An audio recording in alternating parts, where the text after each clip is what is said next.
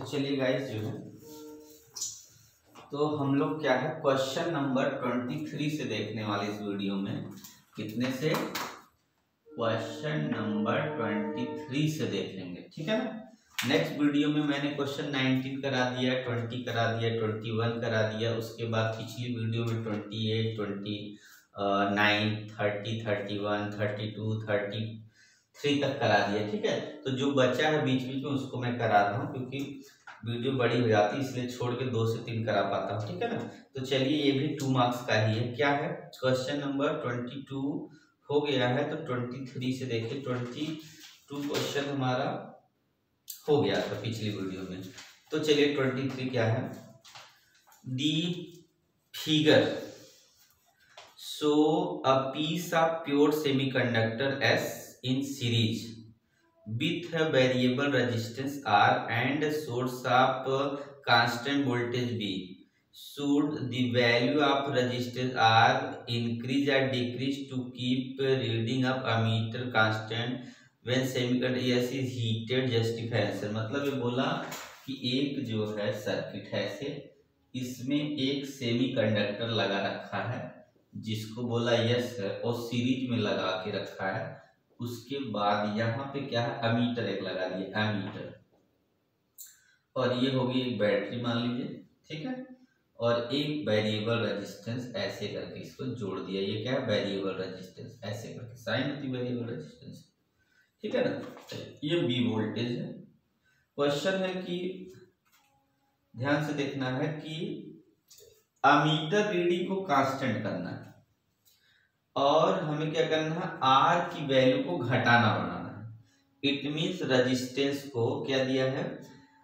The figure show piece of pure semiconductor S in series with variable resistance R and source of constant voltage V should be value of R be increase decrease to keep reading of the meter constant अब देखिए क्या करेंगे हम? अगर क्या करेंगे? Are को increase करेंगे। अगर आर को इंक्रीज अगर कर देंगे, ठीक है? तो हमारा क्या होगा? टेम्परेचर जो होता है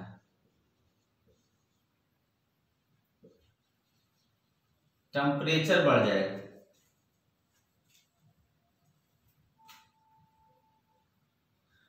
ठीक है? टेम्परेचर क्या कर जाएगा? इंक्रीज कर जाएगा। टेम्परेचर इंक्रीज कर जाएगा। अगर आर को इंक्रीज करेंगे टेम्परेचर इंक्रीज है।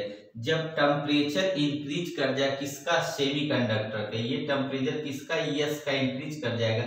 जब यस का इंक्रीज कर जाएगा टेम्परेचर तो ठीक है? इसका मतलब इसका रेजिस्टेंस डिक्रीज कर जाएगा। रेजिस्टेंस क्या होगा? इसका अब डिक्रीज कर जाएगा तो गाइस समझिएगा। अगर हम क्या करेंगे? रेजिस्टेंस इंक्रीज करेंगे यहाँ से। तो हीटिंग होगी। जब हीटिंग होगी तो टेम्परेचर इंक्रीज करेगा। यस का मतलब रजिस्टेंस सेमीकंडक्टर और जब सेमीकंडक्टर का रजिस्टेंस क्या होता है? इंक्रीज मतलब सेमीकंडक्टर जब टेम्परेचर इंक्रीज कर जाता है तो उसका रजिस्टेंस तुरंत डिक्रीज कर जाएगा। ठीक है? अगर टेम्परेचर डिक्रीज कर पर यहाँ पे अगर रजिस्टेंस इंक्रीज करेंगे तो करंट की बात करें करंट तो करंट तो इंक्रीज गाइस करेगा करंट क्या करेगा? इंक्रीज करेगा। तो यही हमारी है। इसका मतलब क्योंकि हम लोग जानते पढ़ चुके ओम्स लॉ में कि कंडक्टर में जो होता है मेटल में होता है, उसमें अगर मेटल का अगर टेम्परेचर बढ़ा देते हैं, उसकी कंडक्टिविटी इंक्रीज कर जाती है, ठीक है? मेटल में अगर हम टेम्परेचर बढ़ा देते हैं तो उसकी कंडक्टिविटी इंक्रीज कर जाती है। पर अगर हम सेमी कंडक्टर का टेम्परेचर बढ़ाते हैं तो उसकी कंडक्टिविटी डिक्रीज कर जाती है। यही है मेटल और सेमीकंडक्टर में डिफरेंस ठीक है? तो इसका मतलब है इस रेजिस्टेंस की थ्री इसमें क्या किया जा रहा है? टेम्परेचर को क्या है? चेंज किया मतलब टेम्परेचर क्या किया जाएगा तो इंक्रीज किया जा रहा है, ठीक है? तो इस तरीके से है। अगला है क्वेश्चन देखिए, इसी का हमारा आर का क्वेश्चन इसी का आर है ट्वेंटी थ्री का आर है ये। आप लोग ध्यान से देखिएगा ट्वेंटी थ्री का आर है क्या? दिया है the graph of potential barrier versus with depletion layer for an unbiased diode is shown in figure A. A में क्या बता दिया कि बाइसिंग नहीं की है? The graph of potential barrier अभी ग्राफ बनाता हूँ। चलिए ग्राफ में बनाता ट्वेंटी थ्री का यहाँ से बता इसको इरेज कर देते हैं। आप लोग समझ गए तो इरेज करते हैं, क्योंकि जगह थोड़ा कम। आर इसी का कराते हैं। तो देखिए, इसका आर क्या है? पहला फिगर ये ऐसे है। ये दिखाया है बी एक्स पोटेंशियल बैरियर है। ये एक्स है, इसको बोला ए है, थोड़ा सा ऐसे ले जाके ऐसे कर दिया, ठीक है? दूसरा वाला फिगर है बी का, और इसमें दिखा दिया ये एक्स हो गया। इस तरीके से इसमें भी बी एक्स है पोटेंशियल बैरियर है ये। थोड़ी इसकी हाइट ज़्यादा है इस ये देखिए, ध्यान से देखिए। फिर ये बी वाला हो गया। तीसरा है सी है। उसमें क्या होता है? थोड़ा ऐसे जाके ऐसे हो गया। ये उससे भी कम है। क्या है? उससे ये पोटेंशियल बैरियर है। इस तरीके से, ठीक है? इस तरीके से। अब देखिए, इसको हम लोग समझेंगे। ये अनबायस बायस नहीं है पर बायस नहीं, इसका मतलब पोटेंशियल बैरियर के बारे में बताया गया कि इसकी पोटेंशियल बैरियर ये है। अब ये अगर पोटेंशियल बैरियर बढ़ जाए परसेंटेज बैरियर का मतलब है, अगर वोल्टेज बढ़ाने के बाद यक्स में चेंजिंग होगा, इसका मतलब ये क्या है? इसको बोलेंगे रिवर्स बायस क्या है ये? ये रिवर्स बाइसिंग की गई है। रिवर्स बाइसिंग में जोड़ा गया। और गाइज़ इसमें देख रहे हैं कि पोटेंशियल ज़्यादा नहीं, इतने पर ही हमारा क्या होगा, इधर लिनियरली बढ़ने लगा। इसका मतलब ये फॉरवर्ड बायसिंग में किया गया होगा। फॉरवर्ड बायस है।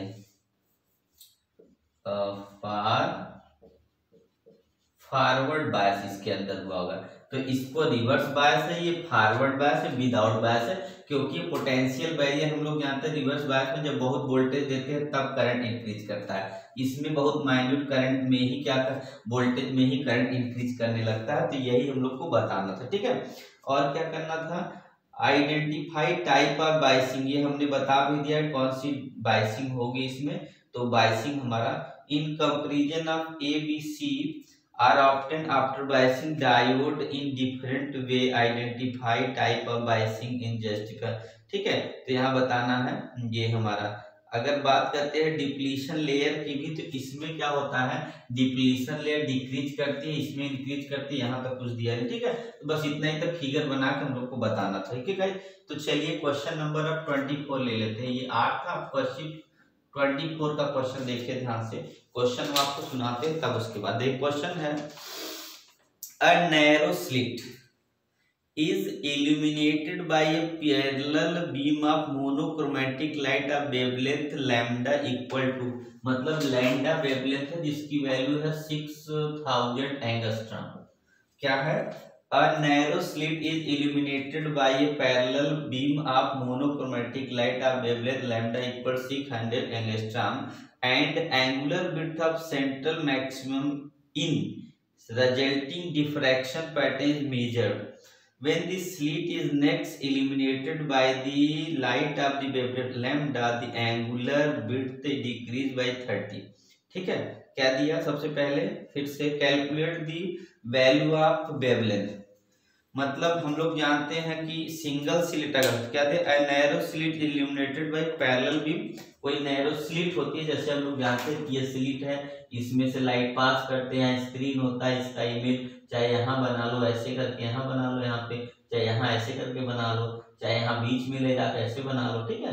तो ये बोला कि narrow slit is emitted parallel beam of monochromatic light wavelength दिया है 600 and angular width of the central maximum in the resulting diffraction is measured तो मेजर करता है तो क्या when the slit is next illuminated अगर next by light of wavelet lambda से तब अगर 30 परसेंट डिक्रीज करे तो देखिए सबसे पहले फॉर्मूला क्या था, हम लोग जानते हैं two theta is equal to कितना होता है?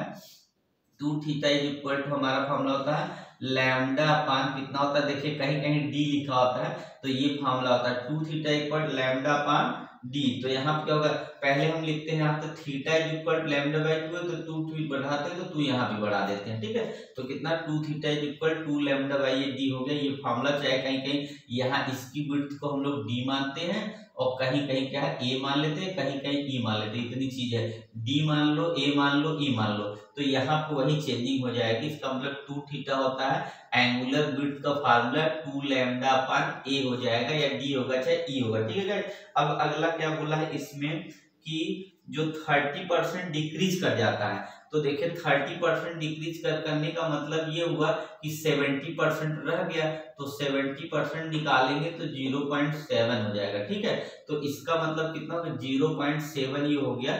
जो थर्टी परसेंट डिक्रीज करें मतलब सेवेंटी परसेंट रह गया। अब हम लोग को करना क्या है इसमें? तो ये हो जाएगा टू लेमडा अपान यहाँ से देखिए डी इज़ इक्वल अब इसको हम सेवेंटी परसेंट कर देंगे, ठीक है? सेवेंटी परसेंट कर देंगे। और पहले का जो, अब यहाँ से वैल्यू देखिए, सेवेंटी परसेंट हो गया। और सेवेंटी परसेंट, और पहले की जो वैल्यू है, वो जो भी है, उससे हम मल्टीप्लाई कर देंगे तो हमारा न्यू वाला पता चल जाएगा। क्योंकि इसको इल्यूमिनेट करेंगे तो इतना सेवेंटी अब इसको मल्टी सात छः बयालीस, और ये डबल ज़ीरो इतना एंगस्ट्राम बचेगा, ठीक है? तो ये हमारी वैल्यू आ गई दूसरी वाली। कि न्यू वाले का वेवलेंथ क्या होगा? तो न्यू वाले का वेवलेंथ कितना होगा? थर्टी परसेंट डिक्रीज करने के बाद तो आएगा कितना गाइस तो आ जाएगा हमारा, ये वैल्यू आ जाएगा कितना? बयालीस सौ आ गया मतलब four thousand four thousand two hundred यहाँ पे क्वेश्चन है डिक्रीज करता है नेक्स्ट इलिमिनेट तो ये वैल्यू हो गई, ठीक है? तो क्वेश्चन नंबर आप लोग एक बार और देखिए तो इसको थोड़ा इरेज करते हैं, तब क्वेश्चन अगला लेते हैं। तो हमारा क्वेश्चन नंबर है ट्वेंटी फाइव क्वेश्चन है ट्वेंटी फाइव क्वेश्चन नंबर है ट्वेंटी फाइव तो चलिए क्वेश्चन नंबर ट्वेंटी फाइव पढ़ते हैं। पहले आप लोग देख लीजिए। क्या है? टू क्या दिया है? Two large thin metal plate are parallel to clear to each other सबसे पहले क्या दिया है? दो प्लेट है। ऐसे ऐसे। हम लोग गास वाला प्लेट पढ़े, बस वही समझिए प्लेट है। इसके तब इसका मतलब बाहर एरिया होगी, अंदर एरिया होगी, इधर बाहर एरिया होगी, ठीक है? और ये एक प्लेट है ए है, दूसरी प्लेट बी है। क्या बोला? Two large thin metal plate are parallel to parallel and close to इधर on their inner surfaces. The plate has surface charge density आप अपोजिट साइन मतलब एक की डेंसिटी सिग्मा की हो जाएगी कितनी? माइनस यहाँ लगा दे रहे हैं। सेवनटीन पॉइंट सेवन टेन की पावर माइनस बाईस दिया है, ठीक है?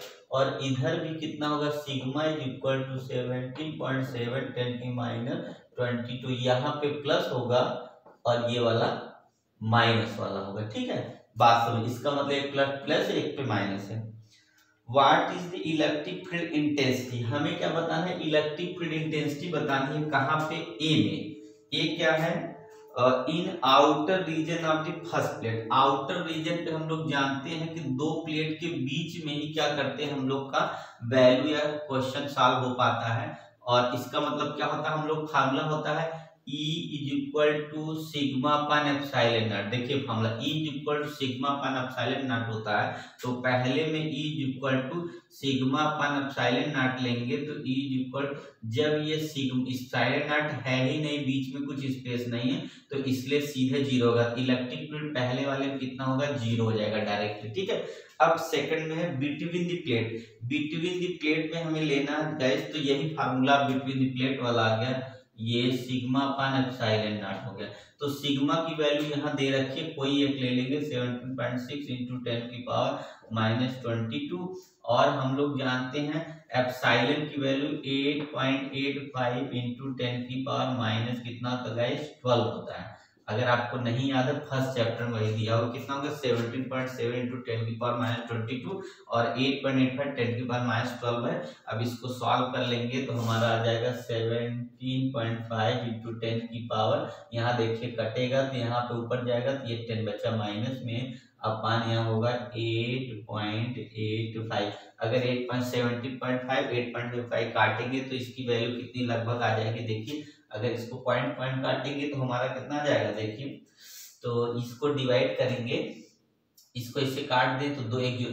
वन सेवन फाइव एक ज़ीरो ऊपर गया, यहाँ पे eight eight five into ten power ये हो गया हमारा इतना। तो जो इससे वैल्यू आएगी वही हो जाएगा आंसर ठीक है? तो चलिए कैलकुलेशन थोड़ा लाएँगे इसलिए छोड़ दे रहे आप लोग कर ही लेंगे। तो ये हमारा क्वेश्चन नंबर कौन सा हो गया? तो ट्वेंटी फाइव देखिए, और चलिए तो नेक्स्ट क्वेश्चन में टू स्टेट अब आगे है।